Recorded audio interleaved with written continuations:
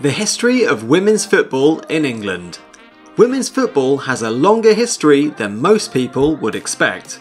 Welcome back to another episode of Football Society. Have you subscribed to be part of the Football Society community yet? If not, then come and join us and never miss out on any of our latest, freshest uploads as soon as they're available. There were a number of women's clubs in the 1890s, and one in North London was reported to have attracted a 10,000 gate to a game at Crouch End. Preston was the stronghold of women's football in its early days, the famous Dick Kerr's Ladies being formed there in 1894 and earning a lot of money for charity. Their match with St Helens Ladies on Boxing Day 1920 had 53,000 inside Goodison Park and thousands locked outside. The FA banned women's football from its club's grounds, but its view that football was quite unsuitable for females changed towards the end of the 1960s. The Women's FA, WFA was formed in 1969 and within three years the first Women's FA Cup final and England Women's International had been played. The FA invited the WFA to affiliate on the same basis as a county association in 1983 and 10 years later established a Women's Football Committee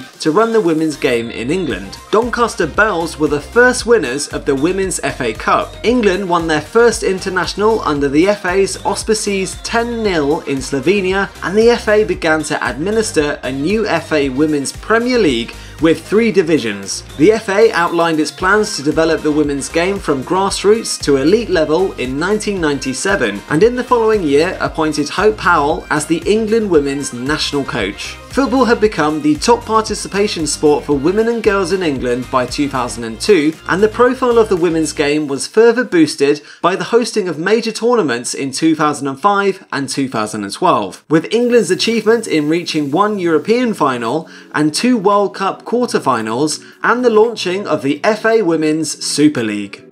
A brief history 1895. The first women's football match. North beat South 7 1.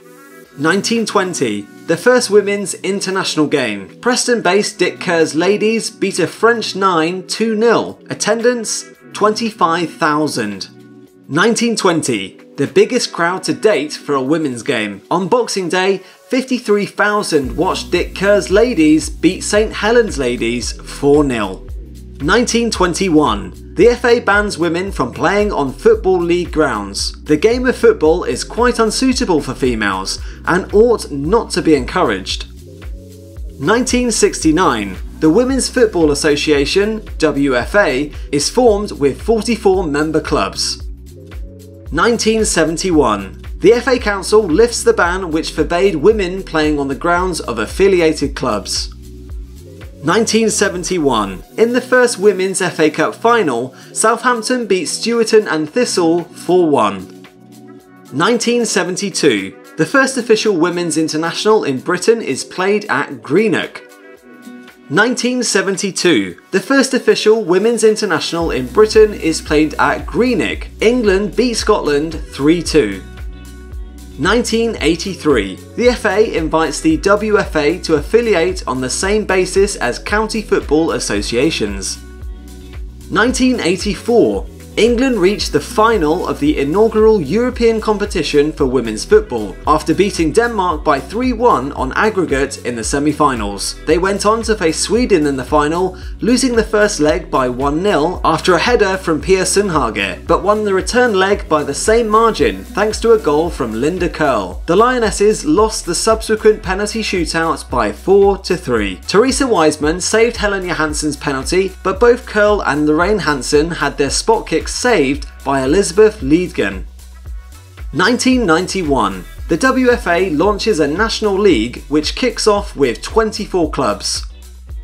1993. The FA establishes a Women's Football Committee and the post of Women's Football Coordinator. The WFA National Cup competition is brought under the control of the FA and becomes the Women's FA Challenge Cup. 137 teams enter. 1994. The FA takes on the administration of the Women's National League and League Cup competition. The league becomes the FA Women's Premier League, FA WPL. 1997. The FA outlines its plans to develop the women's game from grassroots to elite level. 1998. The first 20 centres of excellence for girls are established. Sponsors are gained to both the league and cup competitions. Hope Powell is appointed as the first full-time coach for the England women's international sides. 1999. The USA hosts the FIFA Women's World Cup, which sees sellout stadia and over 90,000 at the final. 2002, the FA announces that football has become the top participation sport for girls and women in England, three years ahead of schedule.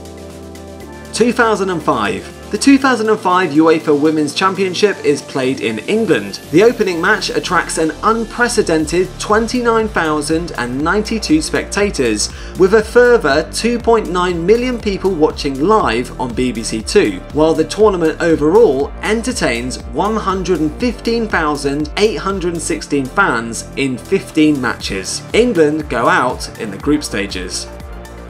2006. After a 12 year gap, England qualify for the FIFA Women's World Cup to be played in China. 2007, Arsenal become the first British side to win Europe's top club prize, the UEFA Women's Cup. England under 19s secure their place at the under 20s FIFA Women's World Cup in Chile. England's senior team travel to China for the FIFA Women's World Cup and reach the quarter-finals, losing to the USA.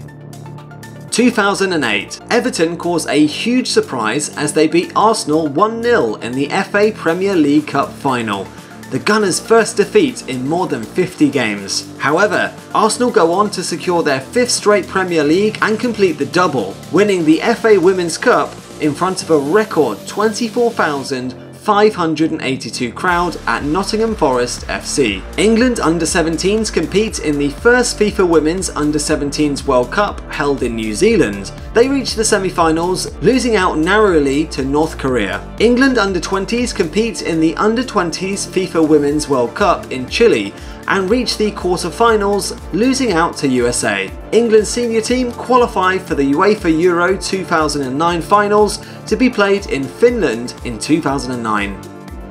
2009, Arsenal achieved triple success, winning the FA Women's Premier League Cup final 5-0 against Doncaster Rovers Belles, the Women's FA Cup, edging Sunderland 2-1 before a crowd of 23,291 at Pride Park and their sixth successive Premier League crown. England's senior team win the Cyprus Cup, beating Canada in the final to win their first international trophy. The England senior team reached the UEFA Championship final for the first time in 25 years, losing out to Germany in Finland, while the under-19s won their UEFA Championship in Belarus.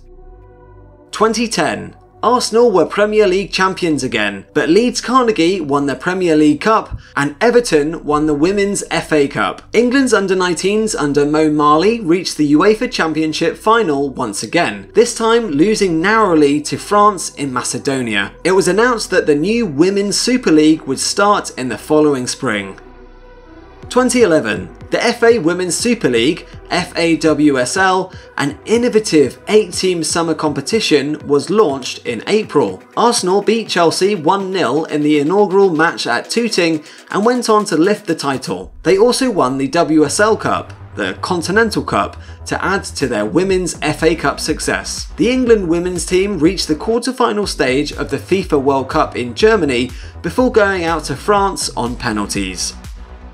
2012. The popularity of women's football in England was escalated by the success of Team GB women who reached the quarter-finals of the London Olympics. Arsenal retained their FA WSL title, Birmingham won the FA Women's Cup for the first time, and the England senior team qualified unbeaten for Euro 2013. It was announced in March that England would stage the 2013 to 2014 UEFA European Women's Under-17 Championship Finals.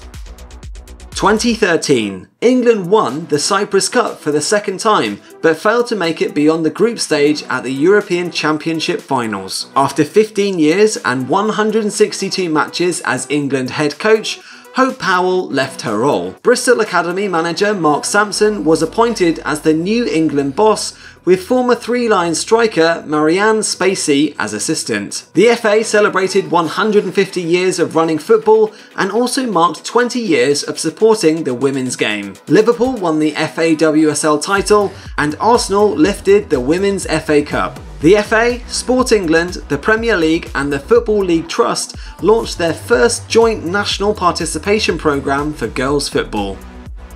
2014 England women played their first match at the new Wembley Stadium, attracting a record crowd of 45,619 for their first match against Germany. Fara Williams set a new England appearance record when she helped the Lionesses defeat Sweden 4-0 in Hartlepool on her record-breaking 130th cap. Arsenal won the Women's FA Cup again and Liverpool retained their FAWSL title on goal difference on an exciting final day of the season.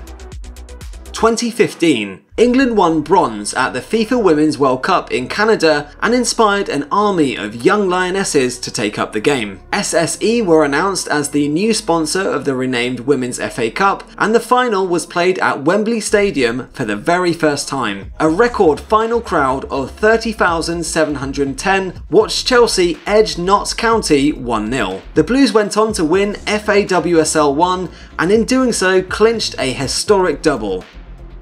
2016, England captain Steph Houghton and most cap player Fara Williams were awarded MBEs in the New Year's Honours List. Baroness Sue Campbell was announced as the new head of women's football. 2017, England reached the semi-finals of UEFA Euro 2017. 2018, Phil Neville was appointed as England women's head coach in January.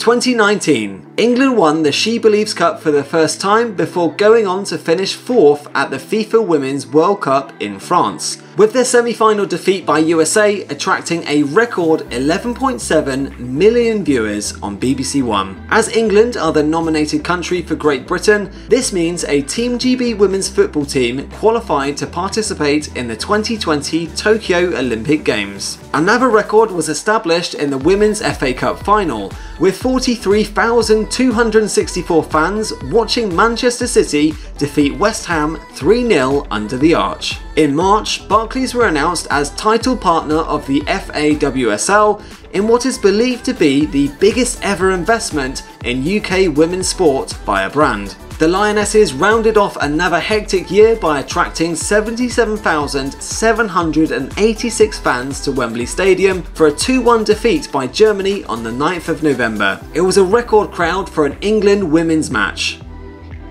2020. The FA's three year game plan for growth strategy for the women's game comes to an end, with impressive numbers revealing over 3.4 million women and girls involved in football participation, an increasing fan base for both the WSL clubs and England team, as well as higher numbers of qualified female coaches and officials. There was also a new name to lead the England senior team, with Netherlands coach and former FIFA Best Female Coach winner Sarina Wiegman. She was appointed to take over as Lionesses head coach from September 2021.